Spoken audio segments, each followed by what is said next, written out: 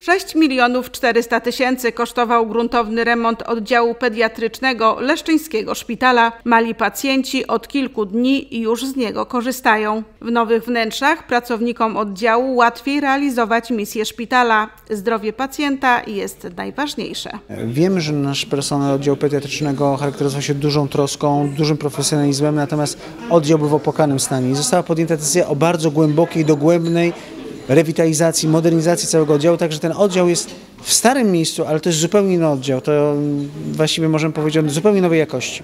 Oddziałem kieruje Danuta Załuska. Po ponad roku remontu zarówno pacjenci, jak i ich rodzice oraz personel mogą korzystać z udogodnień i nowoczesnego sprzętu. Oddział jest totalnie zmodernizowany, jest nowy, pomalowany, wykładziny ma nowe, sale są inaczej skomponowane. Rodzice przebywają na salach z dziećmi, e, mamy salę wzmożonego nadzoru, mamy izolatki, toalety przy praktycznie każdej sali osobne dla rodziców i dla dzieci.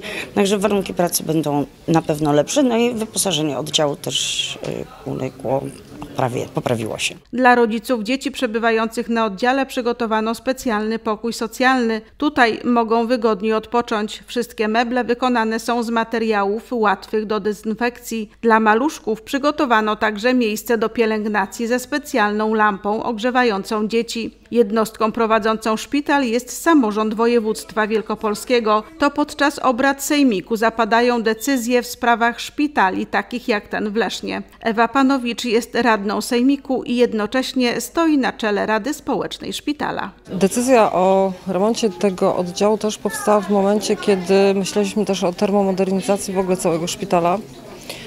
E, no niestety e, pandemia i długi proces e, inwestycyjny no, spowodował, że niestety nie bylibyśmy w, czasie, w stanie wykorzystać środków unijnych. I w tym czasie też myśleliśmy o remoncie tego oddziału. Pracownicy, tak jak dzisiaj dyrektor powiedział, byli bardzo zaangażowani w to, aby oddział był zmodernizowany, wyremontowany.